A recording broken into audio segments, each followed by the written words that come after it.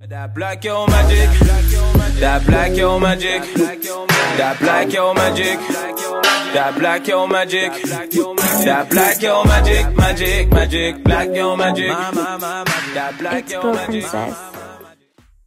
Hey guys, welcome back to my channel, Sugar Glow Princess, and I'm back at it again with another video. In today's video, I'll be showing you guys how I achieved this look. This wig is from PremiumLaceWigs.com. The wig that I'll be showing you guys today is their 13 by 6 lace front wig. The texture is deep curly, it's 16 inch, the density is 130%. It comes pre-plucked with baby hairs, and the lace color is a dark brown. This is the packaging. It just says Premium Lace Wig on it, and inside your box, you will find this card here which just shows you how to wash the hair take care of it style it and all that good stuff.